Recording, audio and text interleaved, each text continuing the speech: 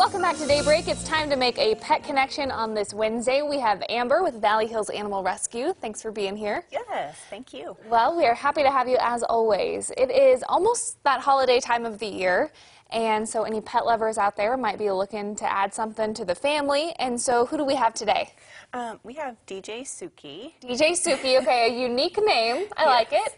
and um, she's 11 months old, so Okay. she's still a kitten.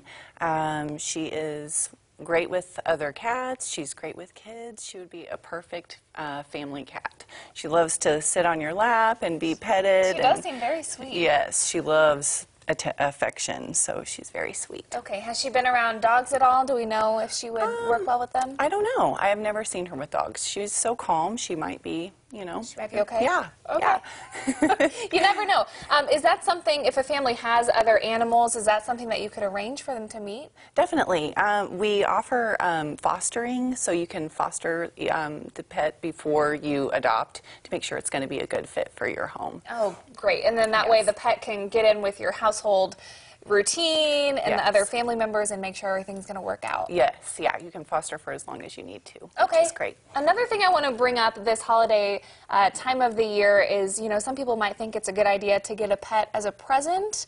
Is that something you guys, I mean, you probably don't want that to be a surprise, right? Uh, no, we don't. Um, it, it's definitely, you know, it's something to th- really think about and Okay. consider before you actually go do it because you're, you know, this is an animal who's, you know, possibly been through many home, homes before they come to yours. So it's a it's a serious decision and it's a forever choice. So Not something that you want to um, have to rethink necessarily. Right, Okay. right. And then, real quick before you go, I know you guys have an event coming up a- a little ways away in January, right? yes, yep, the first Saturday in January we will be at All Pet Supplies on West Republic Road from 10 to 2.